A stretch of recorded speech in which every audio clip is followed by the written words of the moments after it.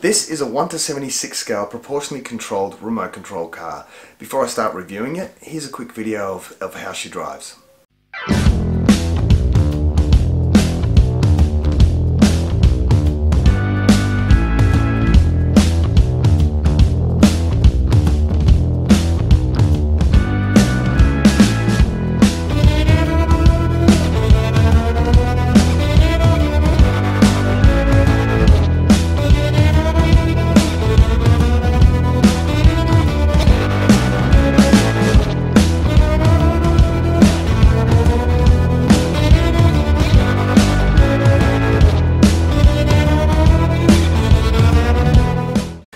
Pretty obvious this thing's tiny. You can see how small it is just by me holding it like that, just resting it on my thumb.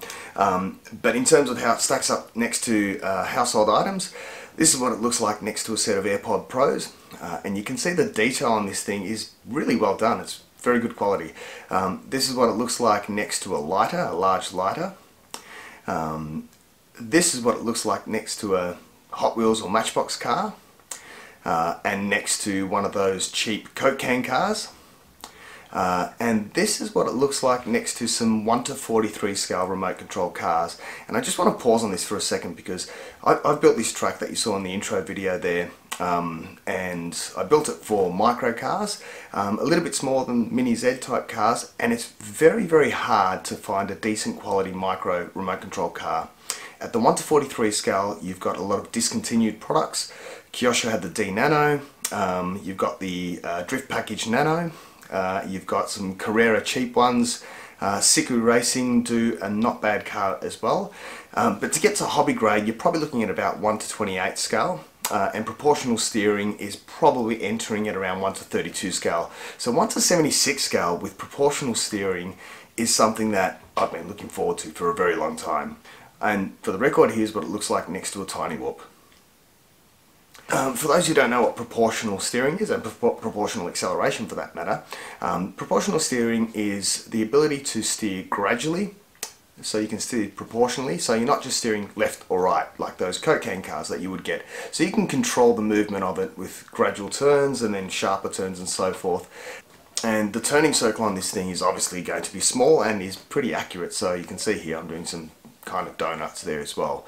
In terms of what you get in the box, you get the car itself, and the car on the underside, and I'll put a photo up as well, um, you have a little switch uh, and you've got your USB-C charging port, so you get the actual cable with that.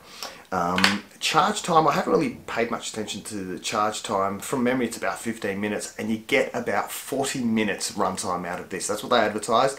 I haven't driven this for 40 minutes straight, but I've certainly driven it for at least 20 minutes, and um, and then switched it off and tried it again. So I can believe that it gives you 40 minutes runtime, um, which is pretty awesome. Uh, the quality of it is great. The cover pops off, and underneath you'll have, I think it's a 75 mile lipo, uh, and the cover is pretty hard and you also get two of these covers here uh, that you can paint yourself. So you need to paint them from the exterior as opposed to typical RC models from the internal or from inside. Um, but that is pretty hard as well and I think it's awesome that they include two of these here for you to uh, customize as much as you want. The transmitter that comes with this is surprisingly very very good quality. Um, you've got nice foam, it's got nice spring tension in there as well. Um, but most importantly, you have dual rates for your steering and for your throttle. So effectively that means that you can dictate how sharp you want it to turn. You can change that setting. You've got these little analog knobs to do that.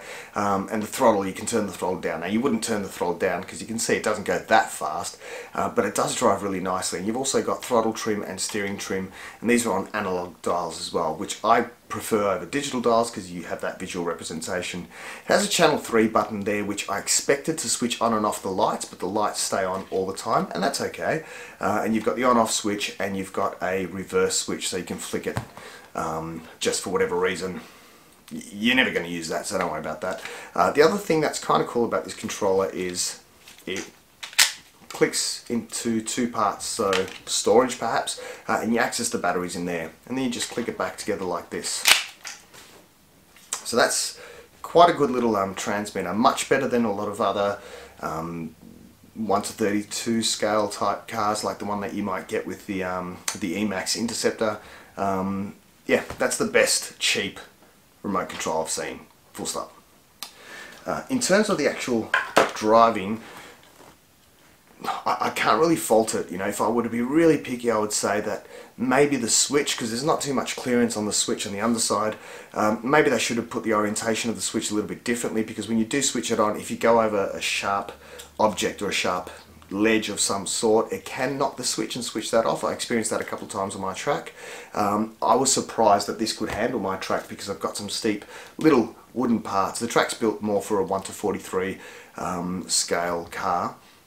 But yeah, really impressed. Um, wheels are rubber, so that I suppose speaks to the quality. The, the top kind of clicks off like that, and you can see underneath, hold that properly, um, what that looks like. I think that's in focus.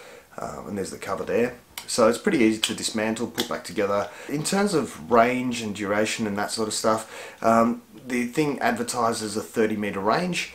Um, you're not going to see this thing past 10 meters or, or something like that anyway. So, so range is not a problem. Um, battery life is not a problem. I'm really impressed. This is really good quality, which comes down, which which brings us to the price. They're not cheap. Banggood has them for 99 Aussie, which is about 70 US. Um, Asia Tees has them for about 80 Aussie, uh, which is 50, 60 US, I'm guessing now.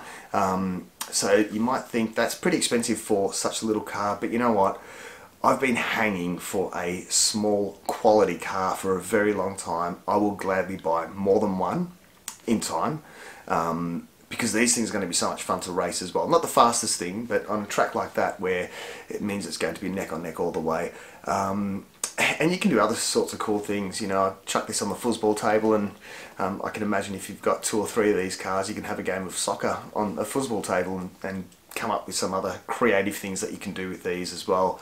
Um, so for the price, uh, uh worth mentioning that Asia Tees, uh, if you're ordering from Australia, I'm pretty sure they only offer DHL. The good thing there it means that you're going to get it in about two or three days as opposed to two or three weeks or months.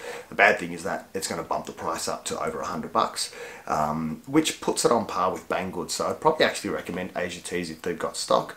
Um, I think there are four colours. I, I will check the website and put up some imagery to double check that and I think there are four available covers colours. Um, I also noticed the website talked about some kind of rubber protection for the transmitter. Um, I didn't get one of those. As I said, I got the car, the transmitter, two bodies and a USB-C cable.